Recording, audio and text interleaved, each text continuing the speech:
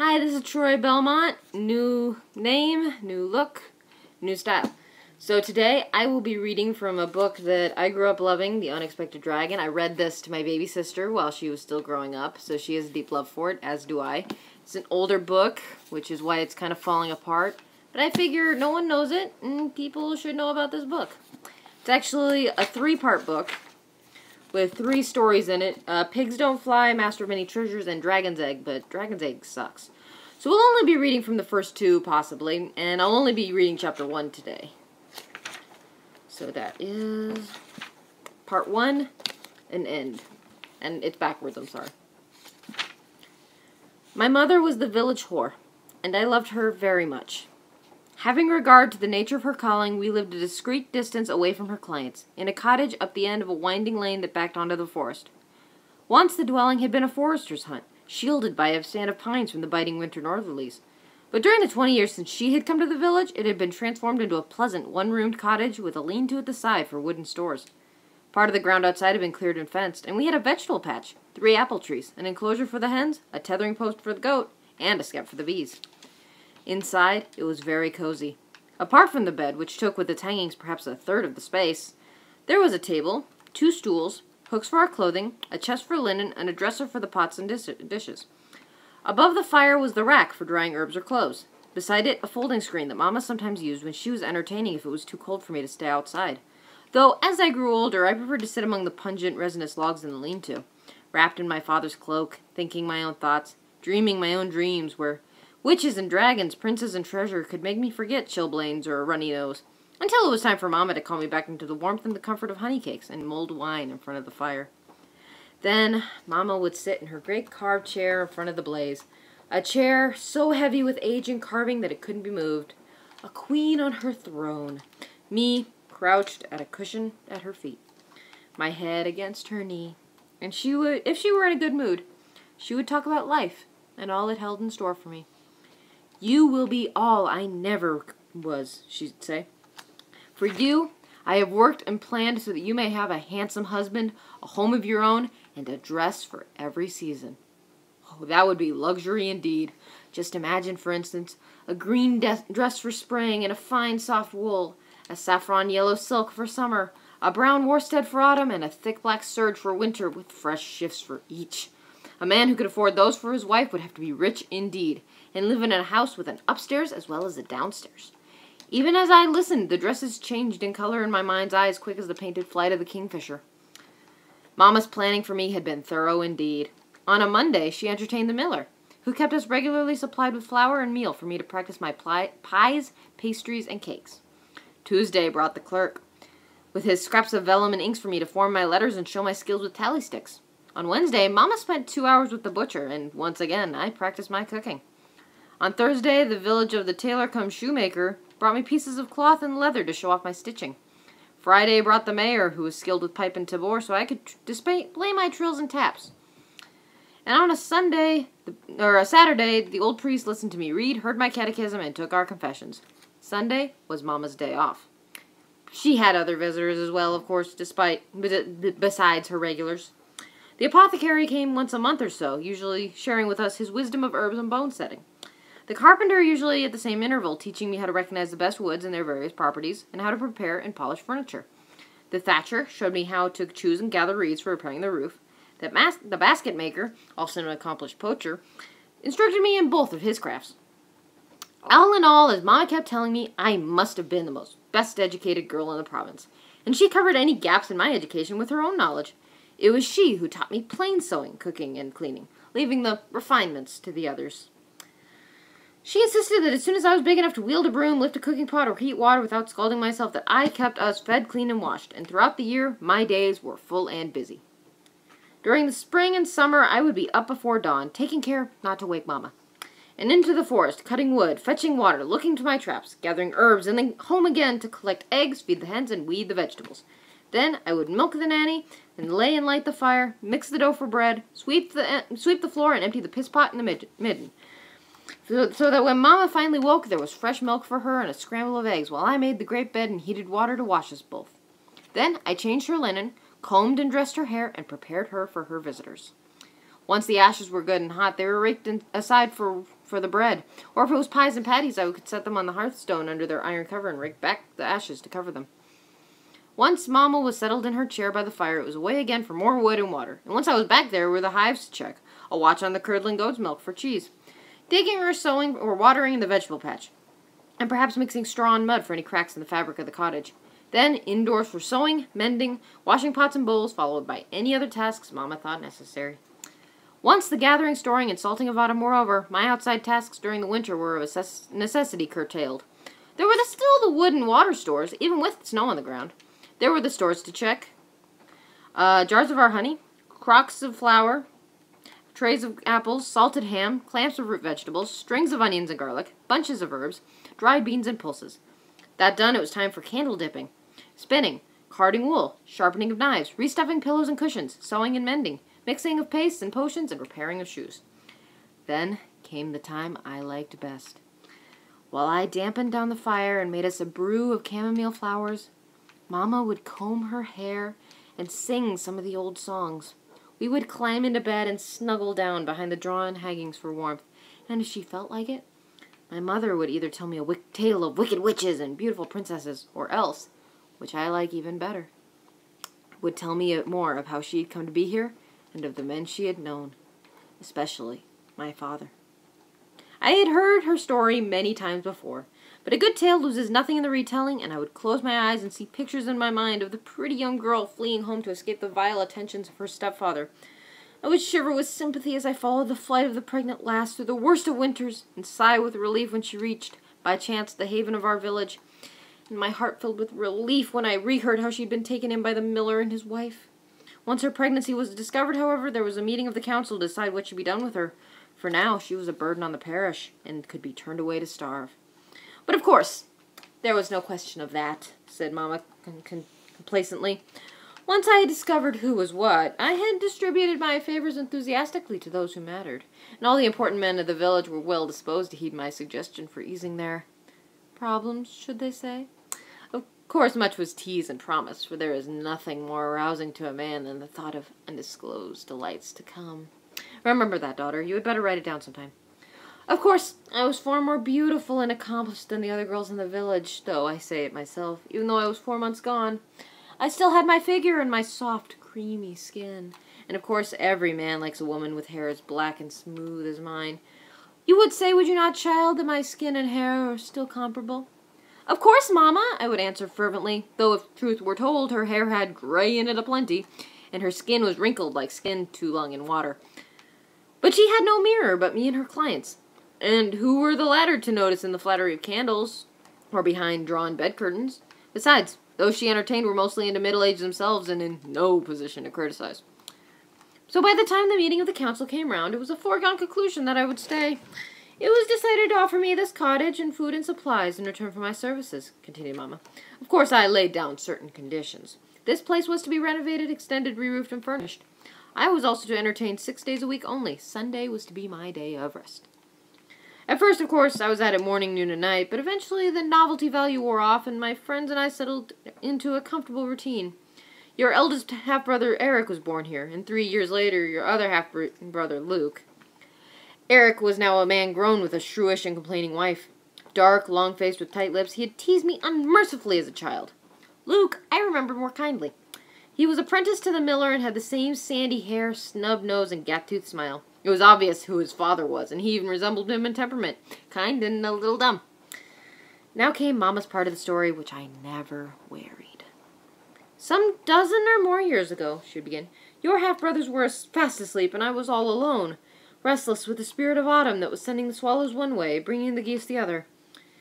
It was twilight, and all at once there came a knocking on the door. It had to be a stranger, for there was a fever in the village, and I had forsworn my regulars until it had passed. And so you, there you were, Mama, I would prompt, all alone in the growing dusk, just in case she had forgotten or didn't feel like going on.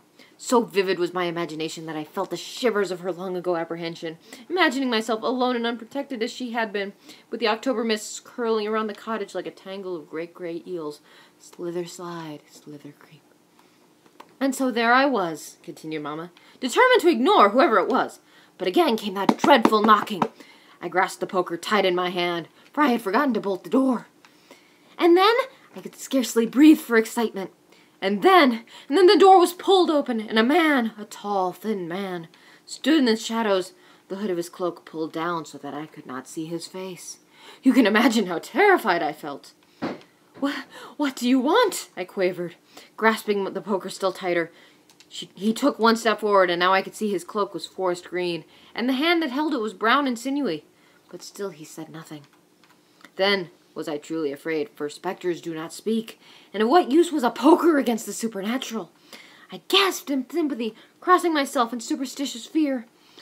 I think my bowels would have turned to water had he stood there silent one moment longer, she said. But of a sudden he thrust his hand, thrust one hand against his side, and the other out towards me, saying in a low and throbbing tone, A vision of loveliness indeed. Do I wake or sleep?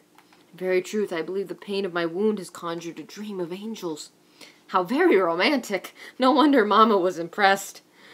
The very next moment he crumpled in a heap on my doorstep, out like a snuffed candle. What else could I do but tend him? And she spread her hands helplessly. And that was how my father had come into her life. At once she had taken him into both her heart and her bed. What woman wouldn't with that introduction? And nursed him back to health. For an idyllic month, while the village lay under the curse of a low fever, my father and mother enjoyed their secret love. He was both a courtly and a fierce lover, said my mother.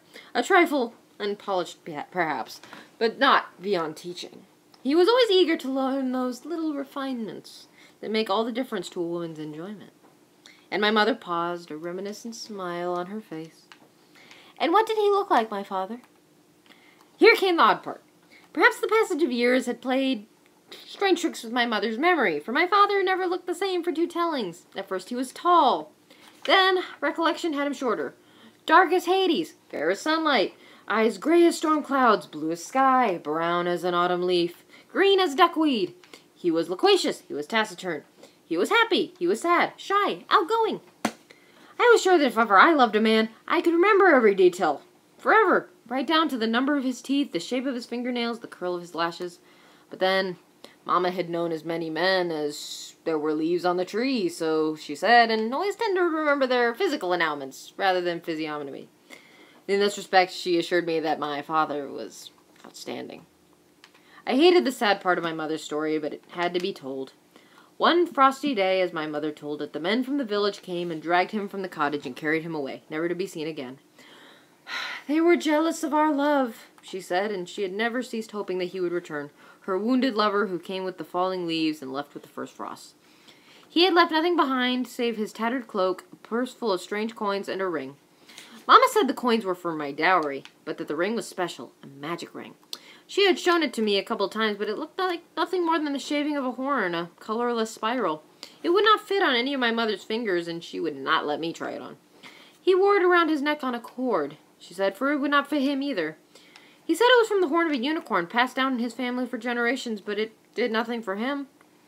She had tried to sell it a couple times, but it looked so ordinary and fit no one, so she had tossed it into a box with the rest of her bits and pieces of jewelry, necklace, brooch, two bracelets, where it still lay, gathering dust. My days were not all work and play. No play, though. I mostly made my own free time by working that much harder. I had two special treats.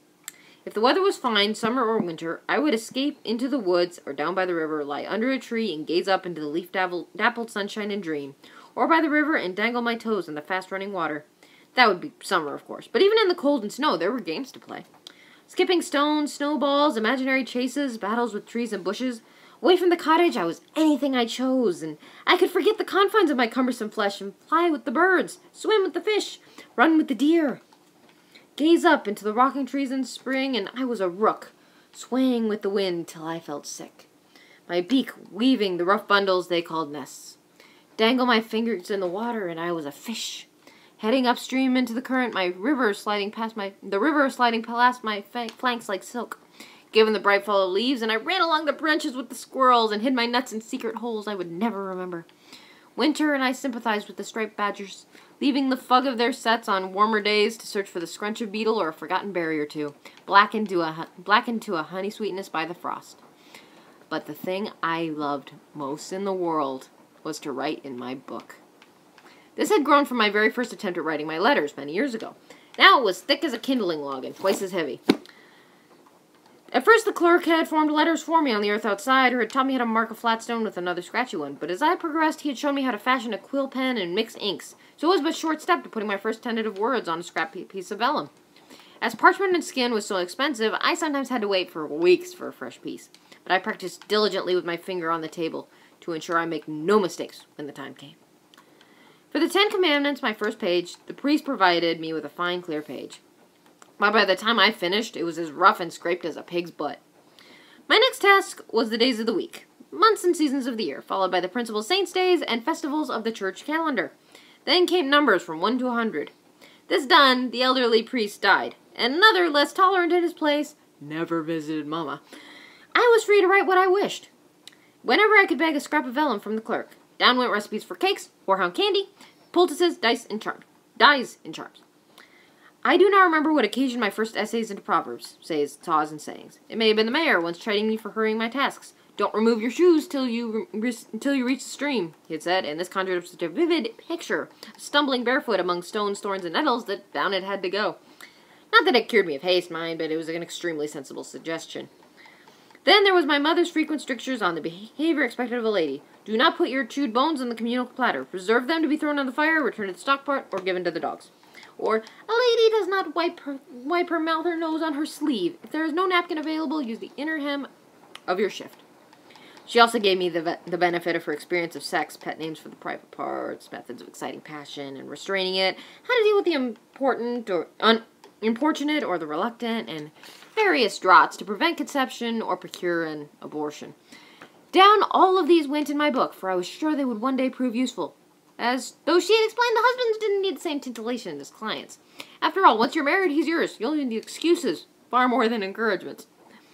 When the pages of my book grew to a dozen then twenty, I threaded them together and begged a piece of soft leather from the tanner for a cover and a piece of silk from Mama to wrap it in.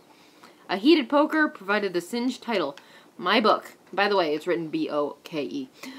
At first, Mama had laughed at my scribblings, as she called them, for she could not read or write herself, but once she realized I was treasuring her little gems of wisdom and could read them back to her, she even gave me an occasional coin or two for more materials, and reminded me constantly of her forethought for providing me with such a good education.